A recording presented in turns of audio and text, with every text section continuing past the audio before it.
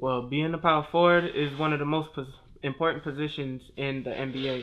The point guard's gonna have to pass you the ball, and you have to be courageous. You have to be strong when you get the ball. You just can't take it up. Look around, see what your surroundings is. Take it up when you know it's safe, and then get the point scored up for your teammates. That's basically what you gotta do. You have to be courageous. Do everything you have to do to make the points.